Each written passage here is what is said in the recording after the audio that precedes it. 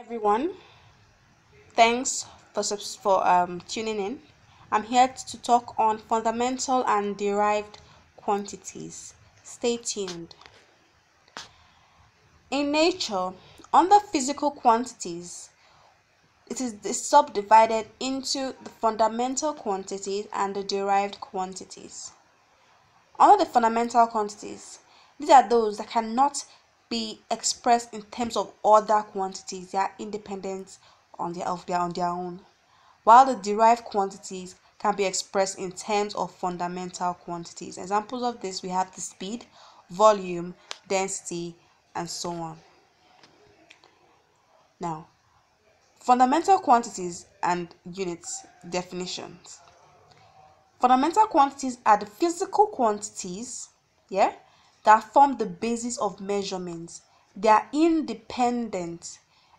Okay, we're highlighting independent here of all other physical quantities.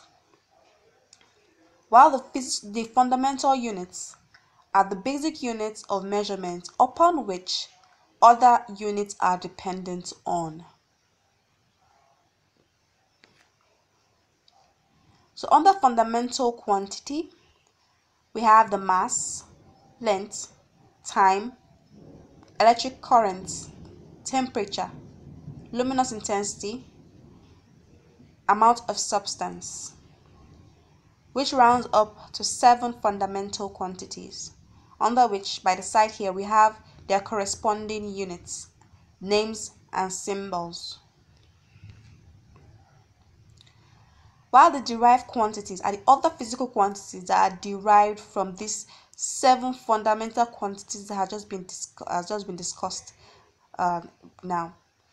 So derived quantities are dependent on fundamental quantities under which for example we have the area area the volume speed density all of which and more are dependent or are derived from these uh, basic or fundamental quantities.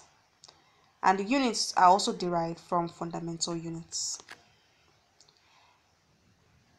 The, like I mentioned earlier, there, I gave you seven examples of fundamental quantities, but the three, um, three most important of these fundamental quantities are the length, mass, and time while derived quantities are just those ones that are just expressed uh got from fundamental quantity and are expressed as a mathematical combination of these fundamental quantities.